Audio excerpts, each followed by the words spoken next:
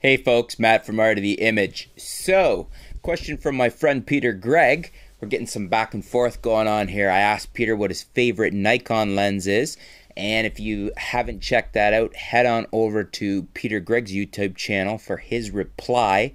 That's Peter Gregg with two G's at the end, G R E G G. I'll put a link down below in case you missed the first one. Uh, I put up a video asking Peter what his favorite Nikon lens is, so he has a reply up. And at the end of his reply, Peter wanted to know what my favorite Canon lens is. He asked a two-parter, my favorite Canon lens and the lens that's on my Canon camera the most. So, Peter, the my favorite Canon lens is the little Canon 50 millimeter f1.8. Now, some people might think that's a strange pick because it's by no means the most expensive or the most elite of the Canon lenses. But the reason that this little 50 millimeter f1.8, this little gem, is my favorite Canon lens is it's probably the best value in the entire Canon lineup. It's a little over a hundred bucks. I'm not sure what it's going for now. I know prices have been going up. It might be 140 or 150 bucks. But for 140 or 150 bucks, you get so much performance out of this lens. It's f1.8, very fast, very open, uh, wide aperture. So this lens is really good for people starting out to see what a, a, a wide aperture, what a fast lens like this can do for you at f1.8. Um, it's an amazing portrait lens on a uh, crop sensor, an APS-C body like the Canon 60D, the T3i, the T2i, the 7D. Um, so it'll give you really nice blown out backgrounds. It'll give you really good low light capabilities at f1.8 and all this for a very uh, low price.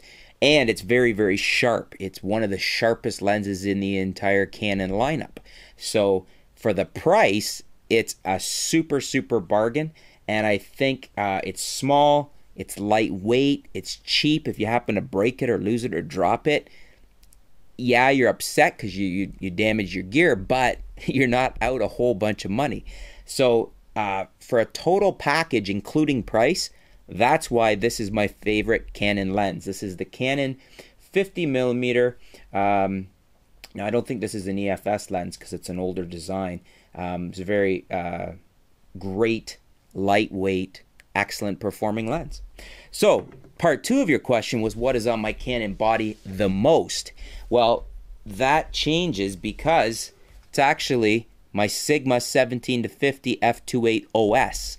Um, the new OS version of the Sigma 17 to 50 f2.8 um, smokes everything in this range in the Nikon and the Canon lens lineup. It's sharper, it's better performing, uh, it has image stabilization and it's a better price. Um, so if you look at the MTF charts on DxOMark, you'll see this is an amazing lens.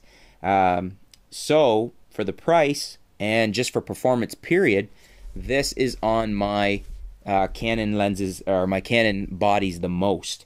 Now this won't work on a full frame body. So if you shoot a 5D, 5D Mark II, or you know, 1DS Mark II, 1DS Mark III, something like that, it's not going to work for you. But any of the crop sensor bodies, APS-C bodies, 7D, 60D, T2i, T3i, perfect lens. Um, versatile, quite fast at f2.8, and sharp as all get out all the way through the range. And the OS works very well. Nice build quality. Um, it's an EX lens, so here in Canada, 10 year warranty on this baby. So that is what's on my Canon the most, basically for versatility. Um, really, really nice all around lens. You could take that lens out, the 17 to 50. It's basically what is that, about 24 to 70, give or take, on the um, when you factor in the crop.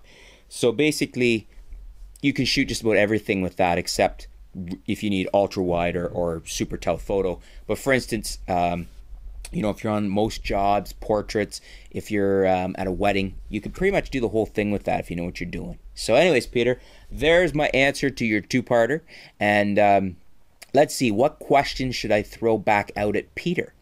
Um, Peter, what is your favorite DSLR camera of all time? Canon, Nikon, Pentax, Sony, whatever. What is your all time favorite DSLR to date?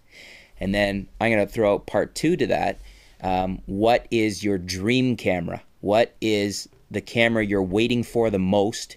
And uh, is it one that we're that we're expecting, or is it something that um, you can give us the specs on and don't expect it out anytime soon?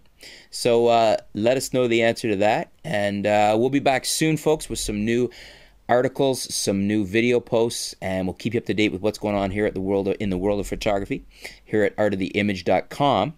And uh, if you haven't signed up for our new VIP Art of the Image newsletter, I'll put the link below and uh, sign up for exclusive offers, uh, promotions from our partners and friends online, and also uh, exclusive tips and reviews. Thanks for tuning in, folks. Stay tuned to artoftheimage.com.